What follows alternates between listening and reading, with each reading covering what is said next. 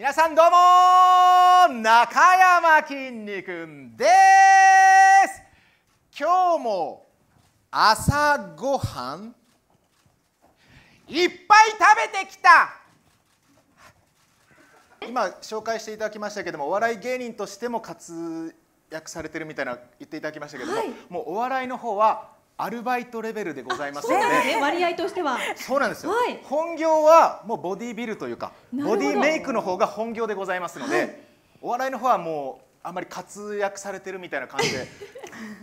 活躍されてアナウンサー泣かせの中山きんに君さんですからね、いえいえいえもうそうですね。あ NHK の、ね、方も笑っていただいたり、そうですね。はい、筋トレは人生の教科書という感じではい。言わせていただいておりまして、本当に筋トレからいろんなことを学んで、それで今の僕があるのでもう人生そのものが僕にとってはボディメイクという感じですね。うん。筋肉の肩書きが何になるのか、はい。僕の肩書きですか？き筋肉に聞いてもらっていいですか？あ筋肉にだから肩そうですね。さっきもだってそうこういうことですね。お笑いはアルバイトってなれば、はい。じゃあえお笑い芸人中山きんに君じゃないのかっていうことになりますもんね,、うんだから肩書きが何かを筋肉に聞けばどうなるかっていうことですよね、はい。それで筋肉で答えてもらおうっていうことですね、うん。そんなん聞きたない。なんで筋肉に聞かないかんのやろか。すみませんもう一回やらせてもらっていいですか？じゃあ僕がボディービルダーかどうか本物のボディービルダーかどうか筋肉コンピューターに聞いてみます。イエスかノーはっきり出ます。よいきますよ。ピーポーパーピー。ポーパーポー僕のののえっと肩書きはのあは本当にボディービルダーですかピポパピポパポピピピピあ反応してますよ反応してますよピピピピピピピピピピピイエス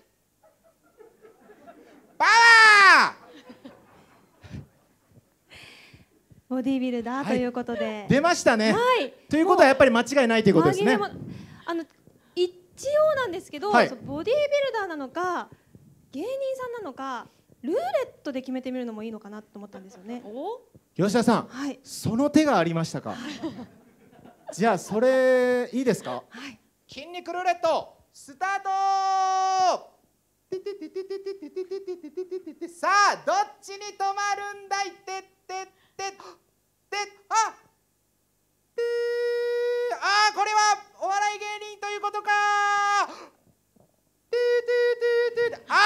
左胸ということはボディービルダーでございますパワーありがとうございます。ありがとうございますすみません個人的に見たくてお願いしちゃいました。いやいい振りをいただきましてありがとうございますありがとうございます。はい